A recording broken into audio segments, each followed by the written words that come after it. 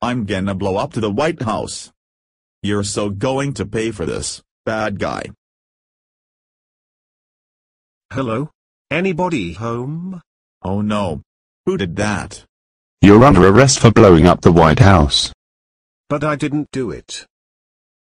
Get in the police car. You're going to jail for one, two, three, four, five, six, seven, eight, nine, zero, zero, zero days.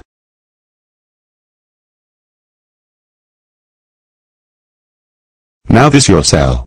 Go there now. I can't believe I got arrested for something I didn't do.